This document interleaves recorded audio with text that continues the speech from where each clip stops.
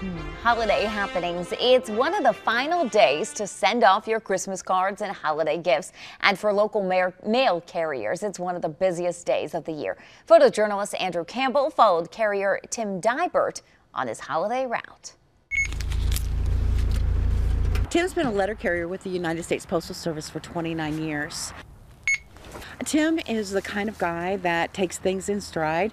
He loves his customers. He loves what he does. There you go. Oh, Merry Christmas. All right, you too. Uh, delivering the mail is a special, special job. You bring love from around the country to individual homes. You know, the parcels here in the last couple of years have just been a lot, lot more than what we used to have. I like make sure I'm being here so that the mail that I know gets delivered correctly to my people, you know. Nothing against the other people delivering it, but I like being here and making sure that they're taken care of.